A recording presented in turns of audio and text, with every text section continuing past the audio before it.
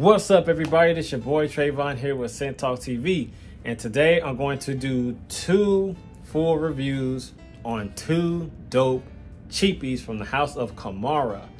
Now, while testing these and doing a full wearing, giving it a full wearing, I had a great and amazing time with these, and these are some stellar, dope. Just hurry up and buy before it's all gone type of fragrances, as well as the other two. But the other two is for a later video. But I'm talking too much. But without further ado, let's just jump into it. And those two fragrances from the House of Camara, we have Contra Exquisite Latin Edition, Latin Royal Edition, Eau de Parfum, and also from the House of Camara, we have Contra for You, and also a EDP concentration amazing atomizer. This fragrance ran me $15 and some change at Marshall's. Ladies and gentlemen, friends and family, this fragrance right here has no business smelling so good, so dope, so high quality, no alcohol blast or any type of whiffs of alcohol blast or anything like that whatsoever in the opening. All the way through the dry down, none of that whatsoever. This fragrance right here screams high quality screams dopeness in a bottle for $15 and some change. You cannot go wrong. You cannot go wrong with this one.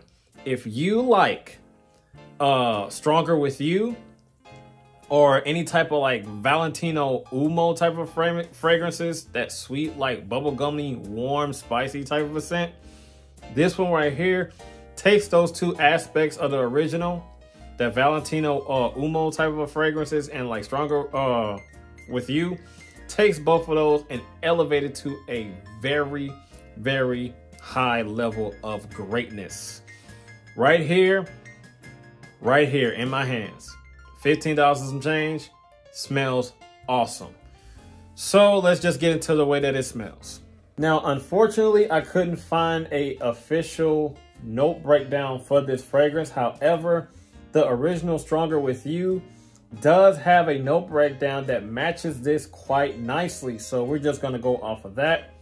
So uh, yeah, this one right here is a very, very dope, warm, bubblegummy type of a nutty, also slightly boozy, slightly, slightly boozy, dry, sweet, candy-like type of a fragrance that screams compliments if that's what you're looking for, that screams fall and wintertime, has amazing longevity and projection. It just smells so high quality, just so terrific. What what blows my mind to pieces is that this is $15. This here is $15. If you haven't smelt this yet, I advise you to hunt this down as soon as you can before it's all gone. Because this smells terrific. Like a syrupy type of a sweet uh, aspect of a fragrance that goes beyond levels of greatness in terms of the rack store game as far as the cheapies go. When you first spray this on, you get this warm, like chestnutty type of a sweet, just gourmety type of a fragrance. In the opening, in the top notes is chestnut and sugar, and the sugar is definitely elevating this this fragrance in terms of the sweetness and a chestnut gives it like a warm, nutty type of a accord to it that is like just amazing. Gives it a little bit of a balsamic type of a accord as well. Once you transition into the mid, you get that sage and lavender. Sage gives it like a little bit of a spice. Not too much of a green spice, but it's like a soft, sweet spice that's kind of like, you know, kind of like a little bit of a herbaceous sweet warm spice mixed in greatly with that chestnut and that sugar. Lavender gives it a little touch of powderiness, and the powderiness on here is sweet, sugary, and syrupy sweet.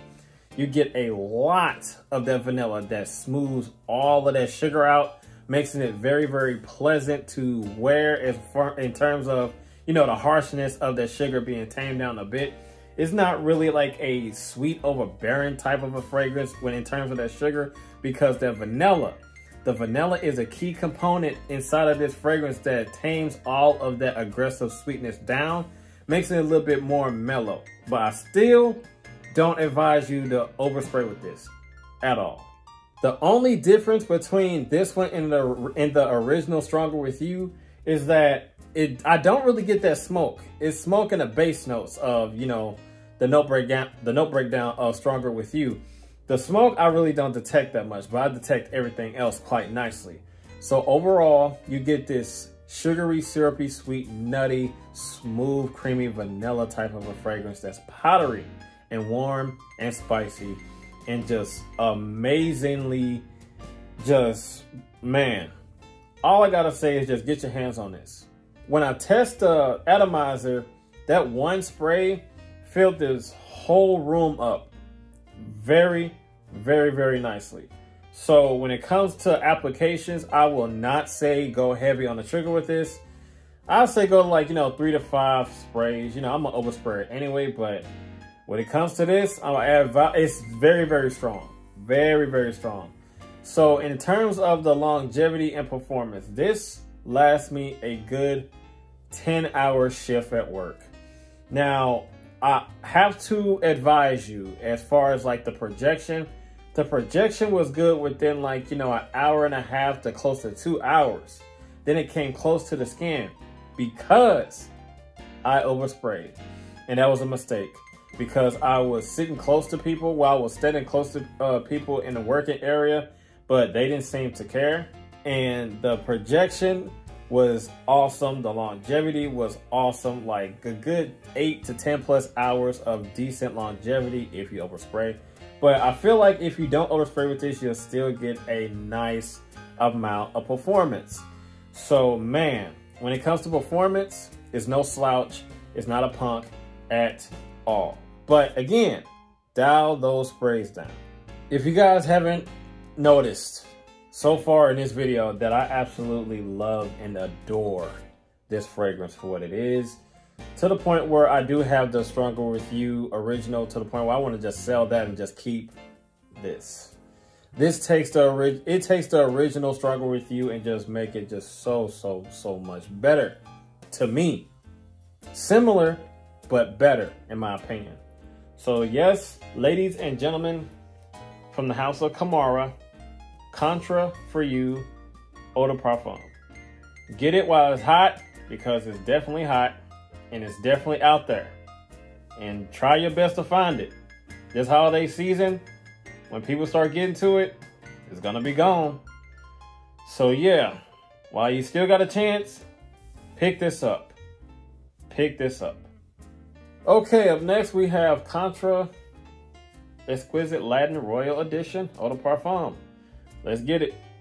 The atomizer on this is always going to be dope. Camara Perfumes, when it comes to atomizers, just like Milestone, kills the game in that aspect. Very nicely. But let's show it off anyway. Man. This one also ran me $15 and some change. This one here I like a lot better than Contra for You.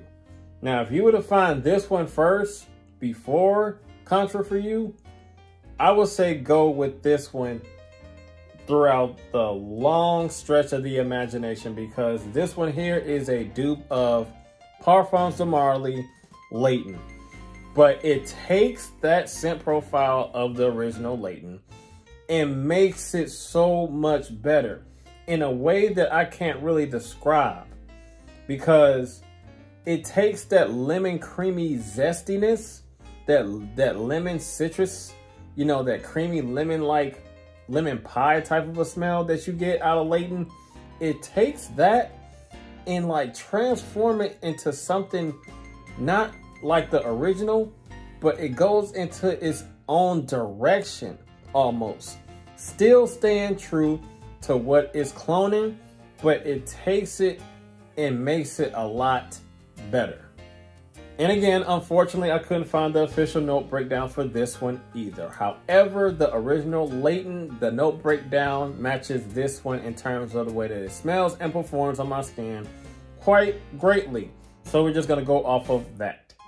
In the opening of this fragrance, you do get a nice hit of that bergamot and apple on my skin, I get a lot of that bergamot and apple as well as a slight powderiness of that uh, lavender. The mandarin orange is there accompanying the apple and the bergamot. I really don't get too much of that uh that geranium, which is like a rosy type of a touch to it. There's a green rosy masculine touch to it. A little bit of a floral aspect, as you, if you will. The violet and the jasmine I do get. It gives a little bit more of a feminine type of a appeal to it. Not too much. Not too much in the opening. The jasmine is bright and citrusy and floral. Well, actually, the geranium and the, uh, no, violet and jasmine is in the mid, not the top. Excuse me. Once it dries down completely and it hits that base note of vanilla, cardamom, saddlewood, and patchouli, guaiac wood, and all that, the pepper, the vanilla, the bergamot, and the apple is what on my skin I get the most out of, as well as that creamy, you know, smooth uh, saddlewood. The cardamom gives it like a dry, sweet oriented spice that is just so dope. Patchouli added a little bit more of a green sweetness that's dark and mysterious. The guaiac wood adds some more woodiness and the pepper has like a soft oriented spice. It's not too aggressive. The pepper is, is not like a spicy fragrance. It's not too spicy because all that sweetness and the vanilla tames that down, shaves all that uh, harshness of the pepper down a lot. But overall, you just get this powdery, creamy citrus. Fruity-like citrus that's creamy, has a bright floral aspect to it, and a dark green mysteriousness to it. Now, in the opening, I will say that it smells like, you know, Layton Exclusive, if I pronounce that right. In terms of the opening, at least, because it does have that, you know, you know, Exclusive, like if you if you smell that one, it has like a mature yet like a dirty green earthiness to it. You do get that in the opening just a little bit for some odd reason. I'm not sure why. But to me, you do get that in the opening just a little bit. And that quickly fades away just like that. And turns into the original Layton. Which is a gorgeous, gorgeous, gorgeous dupe. This is. But I do get that uh that mature uh that exclusive uh, edition, like that version of Layton. I get in here in the opening subtly. Not too much, but subtly.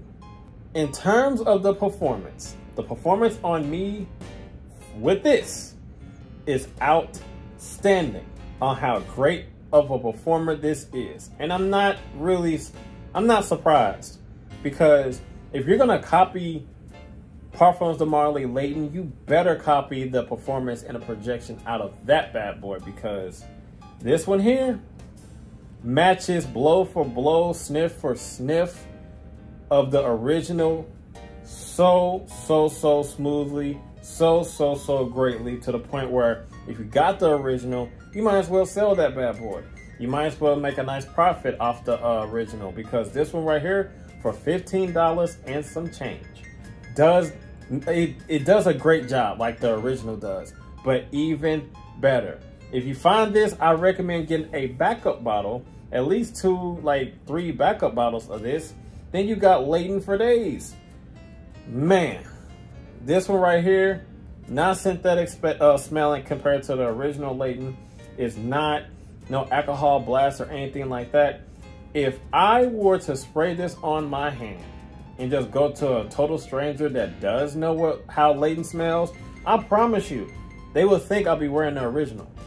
I didn't receive any compliments on this, at least not yet, but yo, this has a strong factor and strong possibility to garner you the compliments that you are seeking because of the aspects and the the attributes that this is compiled in this great magnificent looking bottle it will give you compliments if that's what you're looking for it will send your nostrils to heaven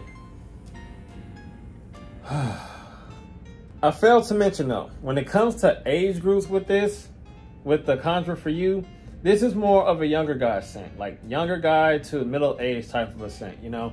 If you are an older gentleman and you want to rock this and you like this, it doesn't matter. Wear what you want to wear, do what you do. But if you want my specific opinion on this one, this is more of a younger guy to middle age type of scent. However, though, Contra Latin edition. I'm just gonna say Latin edition. I don't feel like saying the whole thing.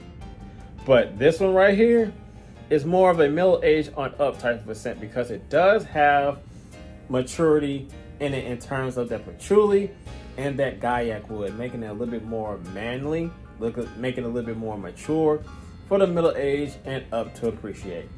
When it comes to seasons for this one, as well as Contra for you, definitely, definitely, definitely fall and wintertime. Do not, when it start heating back up in spring and summertime, don't wear it around that time. At least like when it's cooler at night. But this one right here, you will be cloying and disgustingly sweet and humid all over the place. But I digress. This is more for cooler weather only. Only. No, no, just only, okay? And make sure you dial the sprays down, like I said, with this one and this one. Especially this one, because this is atrociously loud if you overspray. Trust and believe me. So, that's all that I have for Scent Talk TV, ladies and gentlemen. And as always, you know what to do.